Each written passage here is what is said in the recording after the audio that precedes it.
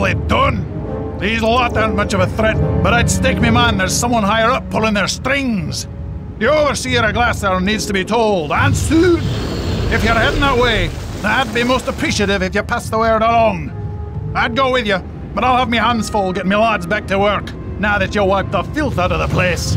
If the overseer gives you any guff, you can flash me lucky amulet and he'll know I sent you. Might as well keep it. It's the least I can do for all the packing you done down here. Don't dally about.